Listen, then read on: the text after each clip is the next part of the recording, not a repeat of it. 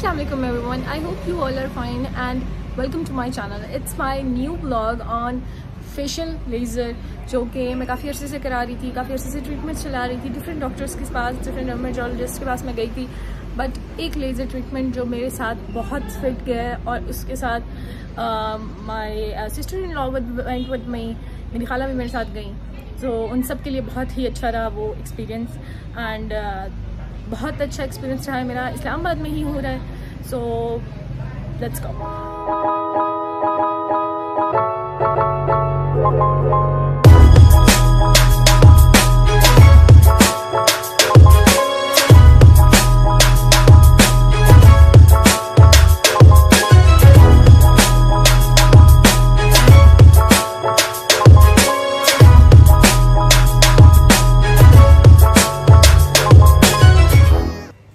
सबको पता है कि मैंने आ, मुल्तान में 12 लेज़र सेशंस लिए थे डॉक्टर शाजिया ज़ुबैर से। बट इशू वॉज़ दिस कि मेरे बाल फेस के बिल्कुल भी कम नहीं हो रहे थे उनकी ग्रोथ कम नहीं हो रही थी। I was having a full beard hair और मेरी मिस्टैश भी थी अच्छी खासी। और मेरा फोर हेड भी फुल भरा हुआ था।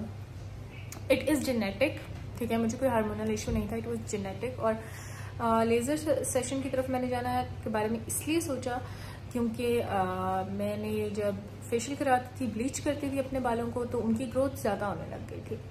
और थ्रेडिंग और वैक्स की वजह से मुझे एक्नी हुई थी, जिसकी वजह से ये निशान मुझे अभी तक है। मुझे मेरे डर्मेटोलॉजिस्ट ने कहा था कि स्किन बहुत सेंसिटिव है यू शुड अवॉइड वैक्सिंग तो मैंने वैक्सिंग अवॉइड कर दी थी, मेरे बालों को बहुत अच्छा नशर हुआ हुआ इस time so ignore it let's move forward about laser Uh, उसके बाद ये हुआ था कि uh, मैं लेज़र सेशन के लिए गई। डॉक्टर शाजिज बैग का काफ़ी काफ़ी नाम था।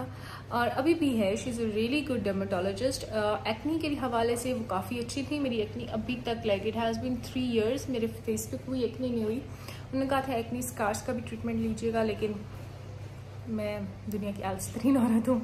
तीन महीने का मैंने ट्रीटमेंट किया था एक्नी का और थ्री मंथ्स का ट्रीटमेंट था एक्नी स्कार्स का। मैंने वो एक्नी स्कार्स का नहीं किया। Moving forward to the hair laser बारह सेशंस के बाद भी मेरे फेस पे, मेरे बालों की ग्रोथ पे कोई फ़र्क नहीं आया। यहाँ से लेकर दिस लाइन ठीक है? यहाँ तक होती है आपकी फुल फेस लेज़र जो जो मुझे उस टाइम मुल्तान में अभी भी कॉस्ट करती है four thousand rupees I went to Saudia in the starting of this year in January and I came back in February तो मैं एक पंथ वहाँ रही तो मेरे भाई ने मुझे बताया दैट जो अब न्यू आ रही है laser it is gentle laser gentle के नाम से। बेसिकली उसकी जो इक्विपमेंट जो मशीन यूज़ की जाती है उसका नाम जेंटल है। और वो काफ़ी अच्छी है। उन्होंने अपनी जो ये मर्दों की खत होती है तो उन्होंने उनका ये था यहाँ से पूरा यहाँ तक बाल थे। लाइक ये डार्क सर्कल से नीचे पूरा चीक्स यहाँ तक। तो आ, उसका ये हुआ कि उन्होंने अपना लेज़र ट्रीटमेंट करवाया तो यहाँ और यहाँ जो मर्दों के यहाँ वाले बाल होते हैं। ख़त रहने दिया अपना मतलब दाढ़ी रहने दी पूरा प्रॉपर ख़त लेज़र का करवाया। तो उनका तीन से चार सेशन के बाद उनके बाल नहीं आते हैं। आ, अब उनका एक प्रॉपर ख़त है वो बस यहाँ मशीन यूज़ करते हैं उसको ट्रिम करने के लिए। मर्दों के बाल एज़ कंपेयर टू फीमेल काफ़ी हार्ड होता है और उनके पोर्स काफ़ी खुले हुए होते हैं। तो उनको it would take like five to six sessions लेकिन उनका तीन सेशंस में ही गया था। सेकेंड थिंग ये उन्होंने कहा कि I should go for it तो मैंने वो ट्राई किया। तो now it has been six month ठीक है? और पिछले सिक्स मंथ में मैंने तीन लेज़र ट्रीटमेंट्स लिए हैं जेंटल के। मैंने एक ट्रीटमेंट जो था वो सऊदिया में लिया था। फिर मैंने काफ़ी सर्च करने के बाद मुझे पता चला कि जो डॉक्टर नादिया हैं, इस्लामाबाद में, सिर्फ़ उनके पास जेंटल मशीन है, जो कि सेवन टू एट वेव के ऊपर वो यूज़ करती हैं, और उनका लेज़र सेशन होता है यहाँ। सिर्फ़ इस्लामाबाद में एफ़ टेन में है। So I decided to move there दूसरे सेशन में ये हुआ था कि इस जगह पे बाल थे और इस जगह पे बाल थे और दो बाल इधर थे, दो बाल इधर थे। और अब जो थर्ड सेशन था, उसमें ये था कि सारे बाल दूर दूर थे, लेकिन बाल थे मेरे, ठीक है? और हर सेशन में तकरीबन टू मंथ्स का गैप रहा है। तो हाउ इट गोज़ और उनका जो क्लिनिक है, वो कैसा है inside out and their treatment उनकी लेज़र वो जो कराते हैं और उसका प्रोसीजर क्या होता है, कितना पेन होता है, ये सारी चीज़ें मैं अब आपको चलती हूँ और आपको दिखाती हूँ।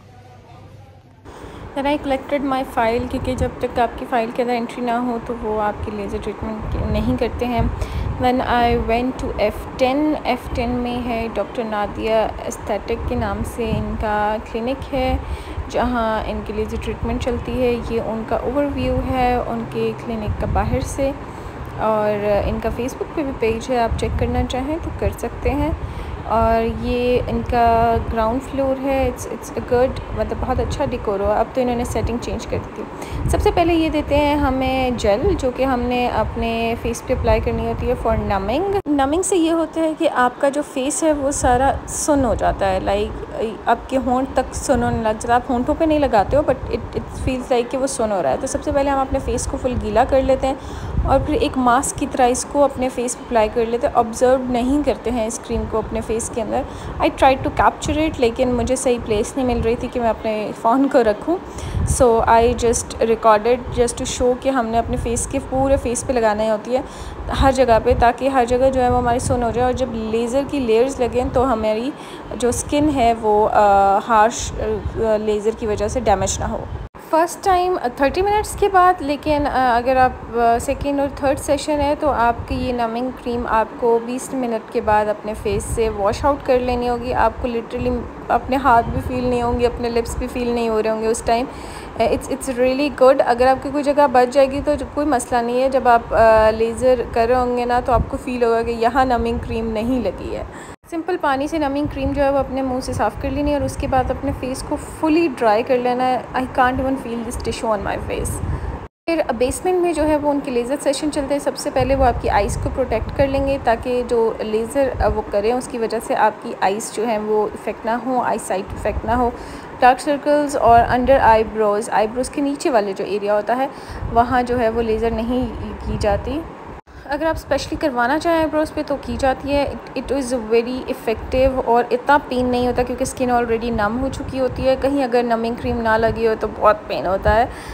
It it feels like needle क्योंकि बहुत ज़ोर से चुपोई जा रही हो गर्म गर्म नीडल ज़ोर से चुपोई जा रही हो and it it really helps to burn out your hair completely और ये मेरा फोर्थ सेशन है एंड और इससे मेरे हेयर बिल्कुल रिमूव भी होते जा रहे हैं रिड्यूस भी होते जा रहे हैं, और उनकी थिकनेस भी बहुत कम हो रही है। अब आहिस्ता आहिस्ता ड्यूरेशन इंक्रीज़ होता जाएगा लाइक टू थ्री मंथ्स ऐसे बढ़ता जाएगा। लेज़र के बाद वो आपको एक क्रीम देते हैं जो आपने फुल लेयर से अपने फेस के ऊपर अप्लाई करनी होती है। अपने फेस का कोई एरिया नहीं छोड़ना होता ताकि जो बर्नस वगैरह हैं वो ख़त्म हो जाए। नमिंग से लेकर बिल्कुल एंड तक ये सारा लेज़र सेशन तकरीबन 40 टू 45 मिनट्स लेता है। And this is how my face get red after laser आप देख सकते हैं। आफ्टर फाइव आवर्स मैंने अपना फेस वॉश किया एंड इट्स कम्प्लीटली क्लीन कोई मार्क्स नहीं है सब बहुत अच्छा और हेयर भी रिमूव हो गए हैं। तीन दिन मैंने अपने फेस को हीट भी नहीं टच करने दी ना ही मैंने अपने फेस पे आ, कुछ लगाया है मतलब सिर्फ़ सन प्रोटेक्शन लगाती रही और धूप से अपने आप को दूर रखा है चूल्हे से अपने आप को दूर रखा है और अब मैंने मेकअप किया कि नहीं सी सो क्लीन और देखिए मेकअप भी बिल्कुल ब्राइट सा लग रहा है। So I will recommend you all कि आप फेशियल हेयर लेज़र की तरफ़ जाएँ और जो ट्रीटमेंट मैं करा रही हूँ पर session it cost you ten thousand rupees और it can drag your hair for two two three months अगर आपको मेरी वीडियो अच्छी लगी है and this laser session satisfied you and you want to go for the laser session तो आप जा सकते हैं। All you have to do is GPS पे doctor Nadia F ten search करें, आपको उनकी लोकेशन मिल जाएगी। आपको रेट्स वगैरह भी पता है और आप अपनी मर्ज़ी से अपनी किसी भी बॉडी पार्ट पे लेज़र करवा सकते हैं। इट्स वेरी इफ़ेक्टिव एंड आपकी स्किन को भी सही रखता है। आपकी स्किन को जलाता नहीं है। और I will recommend you all to go for it बजाय इसकी कि आप वैक्सिंग और फेशियल वगैरह पे अपने इन्वेस्टमेंट्स करते रहें और या फिर गलत डर्माटोलॉजिस्ट के पास जा जा के अपना फेशियल हेयर लेज़र करवाते रहें, जिसका कोई इफ़ेक्ट नहीं होता। If you like this my video and it was informative for you, do like this video और अपने views जो हैं वो ज़रूर कमेंट कीजिएगा और अपने दोस्तों के साथ ये वीडियो ज़रूर शेयर कीजिएगा। Thank you for watching this video अल्लाह हाफिज़